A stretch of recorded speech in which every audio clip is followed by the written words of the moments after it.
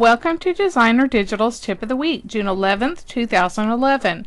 This week I've got your background series number 4, blending patterns and textures with Photoshop and Photoshop elements.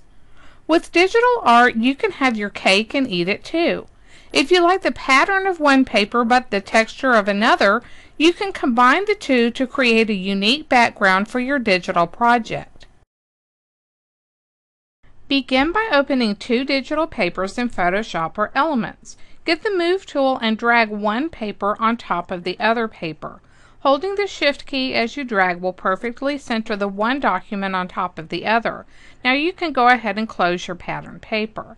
Select the top layer and remove the color by pressing Ctrl U or on a Mac System Command U on your keyboard to activate the Hue Saturation dialog box. Slide the saturation slider all the way to the left and click OK.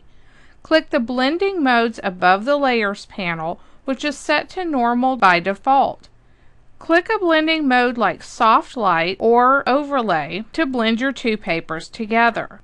Take it one step further by pressing Ctrl E or on a Mac System Command E on your keyboard to merge the two layers together, and then tweak the shadows and highlights.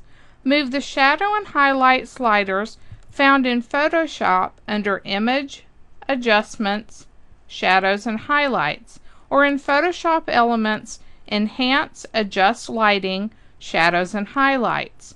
Move the sliders until you're satisfied with the results. Blending papers allows you to have the best of both worlds, a pattern you love and a texture you want in the same image. Thanks for watching and be sure to check back next week for another Photoshop or Elements tip of the week.